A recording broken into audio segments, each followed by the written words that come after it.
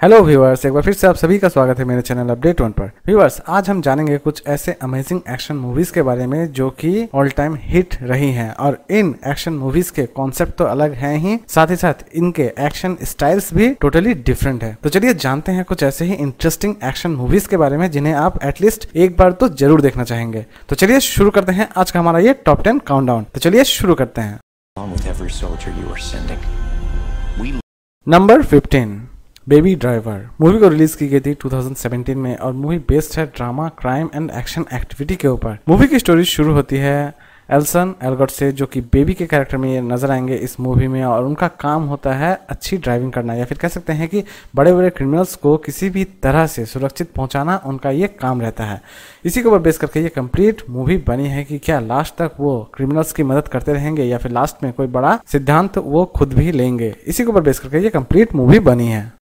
Number 14 face off movie को release की गई थी 1997 में और मूवी बेस्ड है थ्रिलर एंड एक्शन एक्टिविटी के ऊपर। मूवी की स्टोरी शुरू होती है Nicolas Cage and John as a villain के कैरेक्टर में इस मूवी में आपको नज़र आएँगे और दूसरी और Nicolas Cage as a police officer के कैरेक्टर में नज़र आएँगे। लेकिन इन दोनों के चेहरे को बीच में बदल जाता है और दोनों की कैरेक्टर को भी चेंज कर दिया जाता है। मूवी की स्टोरी बहुत ज़्यादा इंटरेस्टिंग तब हो जाती है जब दोनों कैरेक्टर एक दूसरे से चेंज हो जाते हैं और एक दूसरे की अलग लाइफ वो जीना शुरू कर देते हैं। इसी को बेस करके ये कंप्लीट मूवी बनी है। क्या लास्ट तक निकोलस केज अपने आप को फिर से पुलिस ऑफिसर के रूप में देख पाएँगे या फिर नहीं देख पाएँगे? नंबर 13 द रेड मूवी को रिलीज़ की गई थी 2011 में और मूवी बेस्ड है crime thriller and action activity के ऊपर। मूवी की स्टोरी शुरू होती है कुछ ऑफिसर से जो कि एक बिल्डिंग में रेड डालने जाते हैं जहाँ पे बहुत सारे गैंगस्टर रहते हैं। रेड डालते वक्त उनसे कुछ गलतियाँ हो जाती है और इसी बीच गैंगस्टर को पता चल जाता है की रेड डाला गया है इस बिल्डिंग पर। उसी वक्त शुरू हो जाता है, वहाँ पे मौत का सिलसिला या फिर कह सकते हैं दोनों के बीच घमासान युद्ध शुरू हो जाता है। मूवी के एक्शन बहुत ज़्यादा ओरिजिनल लगेंगे आपको इसके मार्शल आर्ट एक्ट भी आपको बहुत ज़्यादा रोमांचित लगेंगे। मूवी बहुत ज़्यादा हिट हुई थी और इसे वर्ल्ड वाइड में रिलीज़ की गई थी। इवन इसे हिंदी में भी रिलीज़ की गई थी। Number twelve John Wick movie को रिलीज़ की गई थी 2014 में और मूवी बेस्ड है crime mystery and action activity के ऊपर। मूवी की स्टोरी शुरू होती है जॉन विक जिनकी पत्नी अचानक से मारी जाती है और उनके पास उनकी लास्ट याद, उनका एक दिया हुआ कुत्ता रहता है। लेकिन कुछ रशियन गैंगस्टर उस कुत्ते को मार देते हैं जॉन विक की सबसे प्यारी कार को वो चुरा लेते हैं। मूवी की स्टोरी वहीं से शुरू होती है कि जॉन विक सिर्फ़ अपने एक कुत्ते के लिए कंप्लीट रशियन गैंगस्टर को खत्म करने के लिए उतावले हो जाते हैं। मूवी की कॉन्सेप्ट स्टोरी एकदम डिफरेंट है और इस मूवी में जॉन विक के एक्शन स्टाइल आपको पागल कर देंगे। मूवी बहुत ज़्यादा हिट हुई थी और इसे हिंदी में भी रिलीज़ की गई थी। Number 11 Rogue One Star War story movie को रिलीज़ की गई थी 2016 में और मूवी बेस्ड है science fiction and action activity के ऊपर। मूवी की स्टोरी शुरू होती है जेन के पिता से, जिन्हें फोर्सफुली डेथ स्टार को कंप्लीट करने के लिए कहा जाता है, लेकिन वो कंप्लीट नहीं कर पाते हैं। दूसरी तरफ़ जब जेन बड़ी हो जाती है तो उसी डेथ स्टार के प्रिंट को चुराना चाहती है। मूवी में देखने लायक है व्यूवर्स क्या जेनी अपने मकसद में कामयाब रहती है या फिर नहीं रहती है? Movie full of action proof है और मूवी को हिंदी में भी रिलीज़ की गई है और मूवी की अगर हम बात करें तो मूवी स्टार वार की साइड पार्ट है। तो इस मूवी को भी आप ज़रूर देखें। Number ten edge of tomorrow movie को रिलीज़ की गई थी 2014 में और मूवी बेस्ड है साइंस फिक्शन एक्शन एक्टिविटी के ऊपर। मूवी की स्टोरी बहुत ज़्यादा कंफ्यूजिंग है क्योंकि ये मूवी आपको इंटरवल तक कंफ्यूज करेगी।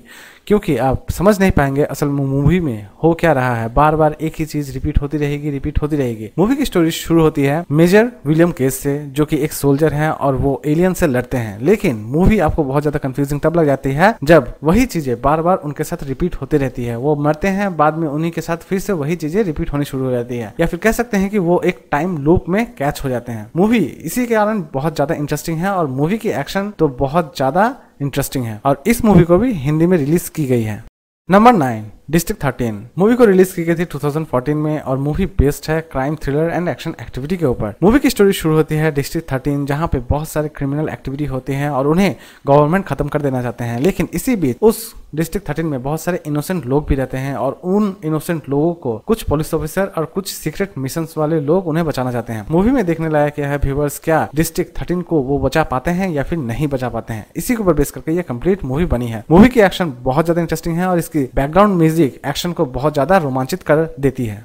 Number eight Ong Bak movie को रिलीज़ की गई थी 2003 में और मूवी बेस्ड है thriller action and mystery activity के ऊपर। मूवी की स्टोरी की अगर हम बात करें तो मूवी की स्टोरी बहुत ज़्यादा लो बजट है, लेकिन इस मूवी की मार्शल आर्ट सभी को बहुत ज़्यादा पसंद आई थी। मूवी लो बजट होने के बावजूद भी ये मूवी वर्ल्ड वाइड बहुत ज़्यादा हिट हुई थी। मूवी की स्टोरी शुरू होती है एक एंशियंट बुद्धा स्टैचू से, जिन्हें चोरी करके कुछ गैंगस्टर शहर ले आते हैं और उसी के पीछे टोनी झा आते हैं। मूवी में देखने लायक है टोनी झा उस पुराने बुद्धा स्टैचू को गैंगस्टर से छुड़ा पाते हैं या फिर नहीं छुड़ा पाते हैं। Movie full of action proof है और इसके मार्शल आर्ट एक्शन देखने लायक है। और इस मूवी को भी आप हिंदी में देख सकते हैं। Number seven rumble in the Bronx movie को रिलीज़ की गई थी 1995 में और मूवी बेस्ड है क्राइम एंड थ्रिलर एक्टिविटी के ऊपर। मूवी की स्टोरी शुरू होती है केनू से, जो कि एक हांगकांग में पुलिस ऑफिसर रहते हैं। वो न्यूयॉर्क में अपने अंकल के पास घूमने जाते हैं या फिर कह सकते हैं अंकल के शादी में घूमने जाते हैं। वहीं पे उन्हें पता चलता है कि वो एक सिंडिकेट या फिर कह सकते हैं क्रिमिनल सिंडिकेट में आप पहुँचे हैं। मूवी में देखने लायक बहुत कुछ है और इसमें जैकी जैन के ओरिजिनल स्टंट आपको पागल कर देंगे। इस मूवी में आप ऐसे बहुत सारे नामुमकिन स्टंट देख पाएँगे जिसे सिर्फ़ जैकी जैन ही कर सकते हैं और इन सभी स्टंट को जैकी जैन ने बखूबी निभाया है। मूवी को आप ज़रूर देखें और मूवी को हिंदी में भी रिलीज़ की गई है। Number six Casino Royale movie को रिलीज़ की गई थी 2006 में और मूवी बेस्ड है थ्रिलर एंड एक्शन एक्टिविटी के ऊपर। मूवी की स्टोरी की अगर हम बात करें तो मूवी की स्टोरी शुरू होती है। मूवी बेस्ड है जेम्स बॉन्ड के सीरीज़ के ऊपर और कसिनो रॉयल की अगर हम बात करें तो Casino Royale one of the best movie है जेम्स बॉन्ड के सीरीज़ में। मूवी की एक्शन बहुत ज़्यादा इंटरेस्टिंग है और मूवी की थीम स्टोरी भी बहुत ज़्यादा इंटरेस्टिंग है। इसके डायलॉग्स सबसे ज़्यादा इंटरेस्टिंग तब लगेंगे जब कसिनो में कोई गेम खेला जाएगा। मूवी में फुल ऑफ़ एक्शन में आप डैनियल को देख पाएँगे और डैनियल ने इस मूवी में अच्छा खासा एक्शन प्रूफ रोल प्ले किया है। मूवी की स्टनिंग एक्शन आपको पागल कर देंगे और मूवी की स्टोरी लाइन भी बहुत ज़्यादा इंटरेस्टिंग है और इस मूवी को भी चाहे तो आप हिंदी में देख सकते हैं। Number five Ip Man movie को रिलीज़ की गई थी 2008 में और मूवी बेस्ड है sports drama and action activity के ऊपर। मूवी की अगर हम बात करें तो मूवी एक्चुअली एक ट्रू इंसिडेंट पर घटी है या फिर कह सकते हैं कि ये एक बायोपिक है। मूवी एक्चुअली बेस्ड है, याप मान के ऊपर, या फिर कह सकते हैं मास्टर याप मैन के लाइफ के ऊपर बेस करके ये कंप्लीट मूवी बनी है कि वो किस तरह स्ट्रगल करके अपने मार्शल आर्ट को ज़िंदा रखते हैं, या फिर मार्शल आर्ट को पॉपुलर करते हैं। मूवी में जितने भी एक्शन दिखाए गए हैं, सारे के सारे ओरिजिनल हैं, और इसमें किसी भी तरह की वी यूज़ नहीं की गई है। Number four Kung Fu Hustle movie को रिलीज़ की गई थी 2004 में और मूवी बेस्ड है drama fantasy and action activity के ऊपर। मूवी की स्टोरी की अगर हम बात करें तो मूवी की स्टोरी बहुत ज़्यादा इंटरेस्टिंग तो है नहीं, लेकिन इसके एक्शन बहुत ज़्यादा इंटरेस्टिंग है। मूवी आपको थोड़ी बहुत बोरिंग लग सकती है और इसकी स्टोरी लाइन थोड़ी बहुत कमज़ोर लग सकती है, लेकिन यकीन मानिए दोस्तों, ये लो बजट मूवी सारी दुनिया में अच्छी खासी चली है और इसे सभी ने बहुत ज़्यादा पसंद भी किया है। मूवी में हल्के फुल्की कॉमेडी के साथ स्टनिंग एक्शन या फिर कह सकते हैं अलग तरह की कॉन्सेप्ट वाली एक्शन इस मूवी में नज़र आई थी। और इसमें डायरेक्टर ने मार्शल आर्ट को या फिर कह सकते हैं कुंफू को एक अलग तरीके से दिखाया है। मूवी को आप ज़रूर देखें और मूवी को आप ज़रूर इंजॉय करें। और इस मूवी को चाहे तो आप हिंदी में भी देख सकते हैं।